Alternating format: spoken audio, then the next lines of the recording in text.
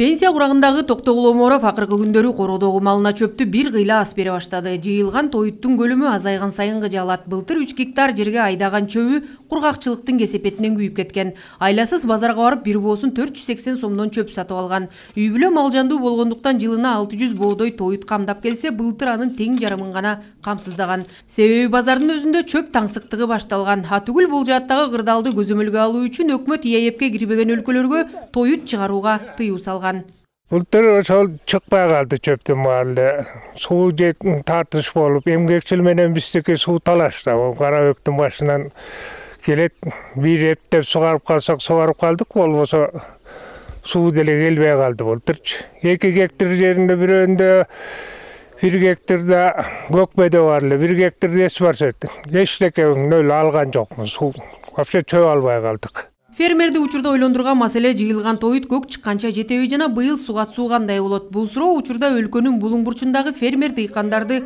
түйшөлтүп турган маалы. Себеби былтыр акыркы он жылдагы катуу кургакчылык катталып мындан өзгөчө баба дыйкандар олуттуу көйгөйлөргө туш болушту. Айыл чарба өсүмдүктөрүнүн баардык түрлөрүнүн түшүмү жыйырма беш пайызга дейре төмөндөдү. Ал эми быйылкы жай айлары кандай болору тууралуу жалпы маалыматты кыргыз гидромет жакынкы он күн аралыгында айыл чарба министрлигине берет экен. Адистер суунун аздыгы быйыл да кайталанат деп болголошууда андыктан бир катар аракеттер көрүлүүдө эми суу маселеси болсо өзүңүздөргө маалым болгудой башынан эле бул жалпы глобалдык көйгөй болуп келатат суу маселеси менин оюмча бул суу өтө кенен болуп көп болуп кетпейт. Бул татыштыгы бул жалпы дүйнөдө болуп жаткан глобалдык өзгөрүүлөргө байланыштуу кыргыз республикасындагы суу топтоочу курулмаларды күндүк жана он күндүк суу топтогуч курулмаларын оңдоо куруу боюнча мамлекеттик программа иштелип жатат.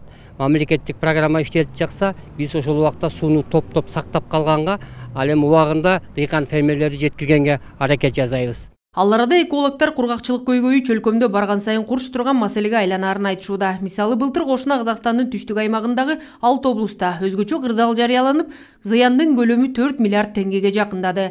Түшүмдүүлүк тең жарымына чейин түшүп кетти. Мындай көрүнүштөрдү алдын алуу үчүн жалпы экосистеманы коргогон комплекстүү иш аракеттер көрүлүшү зарыл дешет экосистемада баары тең бири бири менен байланыштуу. Жардам бериш үчүн биз эң биринчи эмне кылыш керекпиз? Мисалы токойдон башталат. Эгерде токойлорубуз деградацияга учурабай керектүү өлчөмдө өсүп турса алар жанагы жаан чачындардын кардардын бууланып кетпей жер астына суу болуп топтолушуна өлгү түзөт демек көрдүңөрбү ал суу бар болбосо демек дыйкандарга жана жарамдуу керектүү шарттар түзүлөт. Буга чейин президент садыр жапаров сугат суу маселеси борбор азияда көйгөйгө айланып бара жатканын айтып аны суу бассейндерин куруу аркылуу чечүүгө болорун билдирген.